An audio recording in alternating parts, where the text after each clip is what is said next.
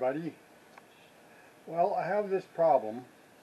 I have red tek gas and I have the connector, but the connector will not fit on my Ford Edge. What can I do? I'll show you everything here. Hold on.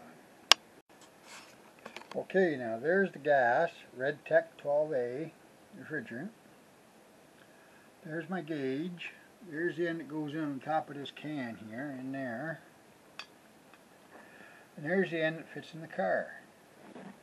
But this connector here is the exact size of the connector like that that dimension right there is the exact dimension of the top of the connector on the Ford Edge. What can I do? Thank you. Bye.